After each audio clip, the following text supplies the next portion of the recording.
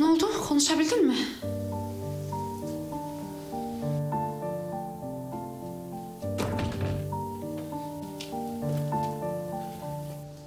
Burası. Ben öyle sıcak bir yuva olsun diye değişiklik yapayım dedim ama... Ama başımızda bunca iş varken öyle oturduğumuz koltuğun çok bir önemi yokmuş. Öyle boş bir çaba.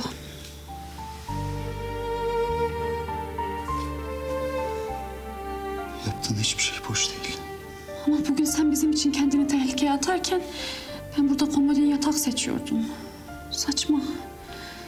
Saçma falan değil. Hatta tam tersine. Şu an burayı bizim için bir yuva yapmaya çalışman her şeyden daha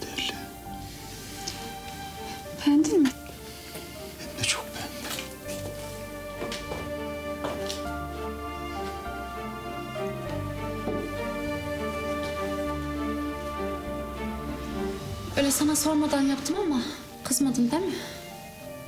Ya kızar mıyım hiç? Hı? Nasıl güzel olmuş. Sağ ol.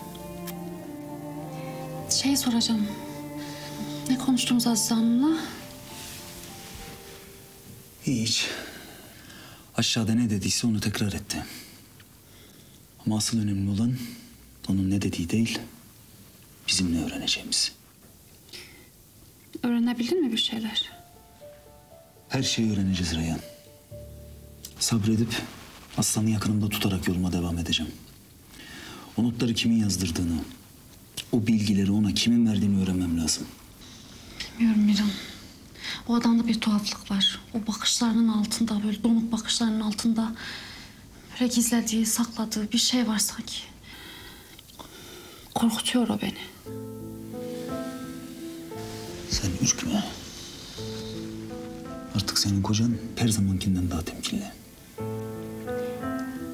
Ben kendim için değil zaten, senin için korkuyorum. Yani bunca zaman kendi kız kardeşinin kahrolmasına göz yumdu. Aylarca. Kim yapar ki böyle bir şeyi? Benim korkum ondan.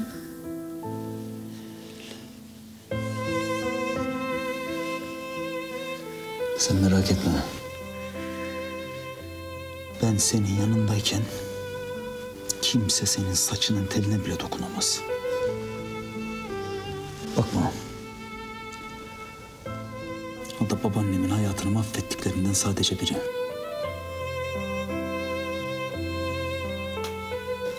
Sen yine de dikkatli olacaksın ama tamam mı? Tamam. Her şey düzelecek. Sen merak etme. İnşallah.